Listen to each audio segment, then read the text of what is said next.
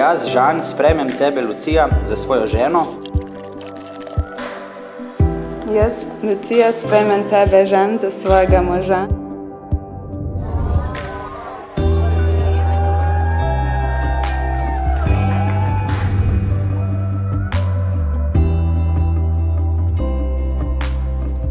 In obljubim, da ti bom ostal zvest v sreči in nesreči, v bolezni in zdravju, da te bom ljubil in spoštoval vse dni svojega življenja. In obljubim, da ti bom ostala zvesta v sreči in nesreči, v bolezni in zdravju, da te bom ljubila in spoštovala vse dni svojega življenja.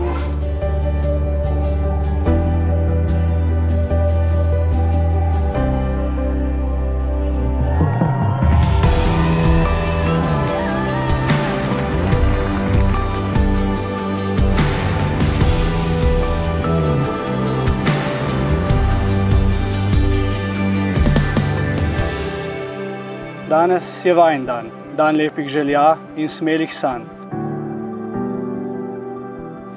Nikdar ne pozabite svojih korenin, kdo sta in odkot prihajata.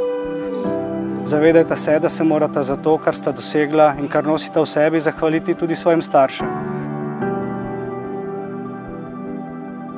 Drug drugemu dajete zdržljivo roko in sprejemajte s hvaležnostjo drug od drugega umetnost, da je človek srečen v tem, da daje, a zato nič ne zahteva. In biti ljubljen pomeni več kot biti bogat.